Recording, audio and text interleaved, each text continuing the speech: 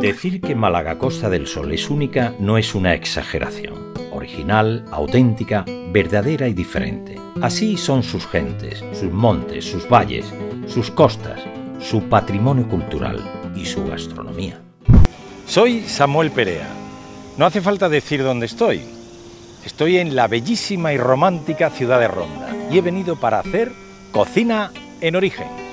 Hoy me dirijo a Ronda buscando el origen de una receta cargada de tradición y sabor rondeño, el famoso guiso de rabo de toro.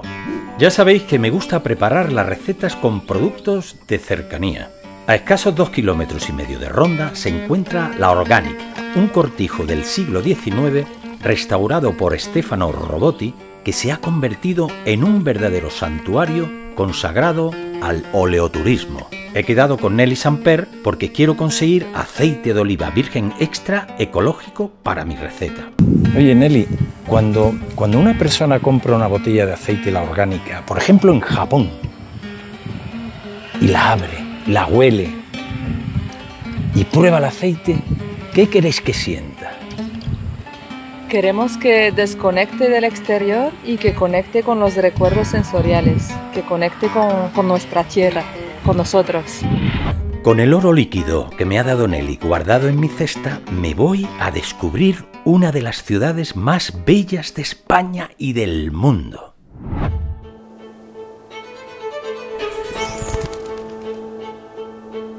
A veces pienso que hay espectaculares espacios naturales que han soñado con ser ciudades.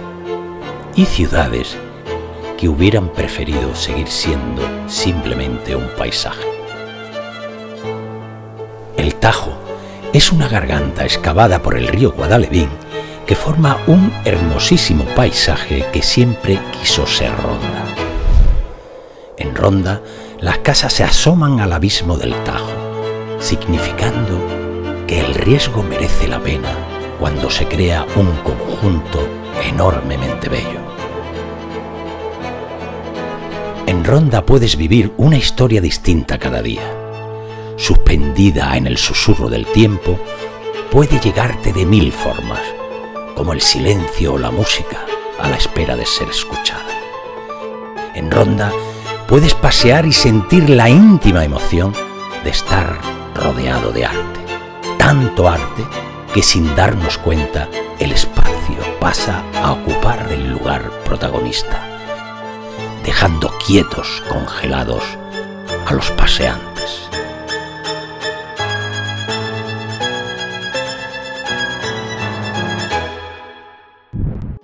En Ronda he conocido a Antonio González Muñoz, el Cookie, artista, incansable viajero, bohemio, guitarrista y pintor. Él ha dado siempre rienda suelta a su sentido de la libertad. Ha hecho sonar su guitarra por medio mundo. Lleva siempre ronda en el corazón. Ronda es lo principal que tiene que ver. Tanto así que en Rusia vi yo a un japonés y le dije, ¿dónde va? Dice, voy al norte de España. Digo, pues ve Arzú.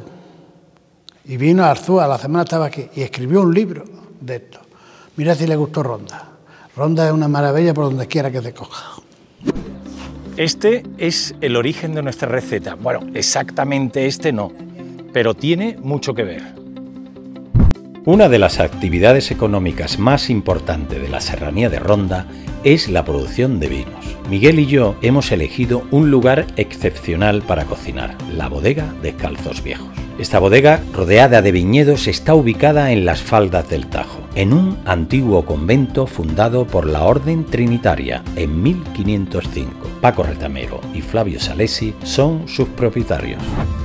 Hoy voy a cocinar con el creador de Rustic Experience Andalucía, Miguel Herrera, un joven chef nacido en Algodonales, muy querido en la comarca de la Serranía de Ronda. Él ha conseguido transformar su amor por la cocina con raíces en una experiencia gastronómica única.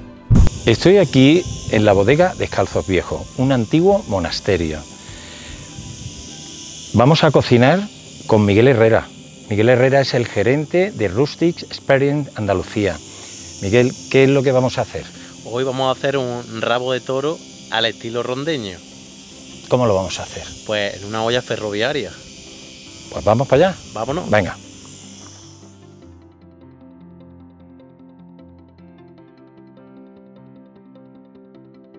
Miguel ha marinado el día anterior el rabo de toro. Ha puesto en una olla el rabo de toro cortado en trozos, le añade romero, hierbabuena, tomillo, laurel, cominos molidos, curry, un poco de sal, pimienta negra y pimentón dulce. Luego lo cubre con un buen vino tinto de la bodega Descalzos Viejos y lo deja marinar toda la noche. Para hacer la receta vamos a utilizar una olla ferroviaria portátil. Este aparato está compuesto de un recipiente metálico donde se hace la combustión, junto con un puchero encajado en el recipiente donde se hace la comida. Encendemos el fuego y mientras se van formando las brasas, Miguel prepara los ingredientes. Corta los ajos, el pimiento verde y el rojo, pela las patatas Pica las cebollas moradas, los tomates y la zanahoria. Con el fuego a punto ponemos en la olla un buen chorreón de aceite de oliva virgen extra de la Organic. Introducimos los trozos de rabo de toro ya marinados y los sellamos.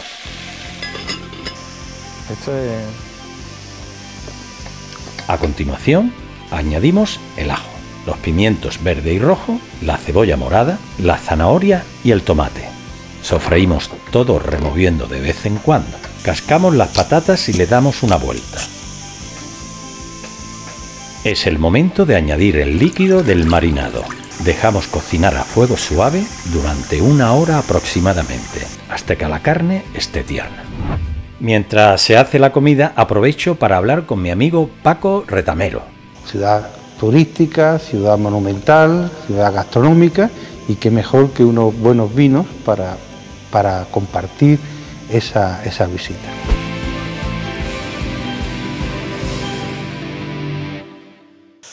Samuel, guiso de rabo de toro a la rondeña en olla ferroviaria. Lo prometido es deuda. Perfecto. Gracias Miguel, eres un crack.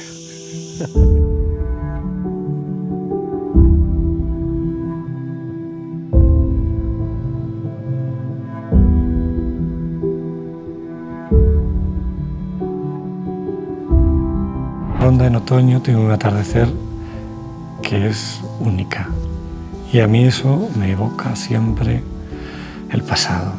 Es como si yo hubiese estado aquí hace muchísimos siglos. La vida, la pasión por lo que haces, te da derecho a decir, a contar, a recordar. Esta rica y bella tierra, en todos los sentidos, me ha hecho recordar que lo mejor de nuestros sueños es el camino que nos obliga a hacer, la obsesión por conseguirlos. Hoy mi sueño cumplido ha sido vivir Ronda, esta ciudad romántica, bellísima y apacible. Sin embargo, el camino lo ha ido marcando sus gentes. Vivir la experiencia con Miguel, con Paco, con Nacho, con Antonio el Cookie o con Nelly y Belén es el mejor ticket de visita para entrar encontrarse y sentir esa emoción en Ronda. Decir que Ronda es única no es una exageración. Hasta pronto, amigos.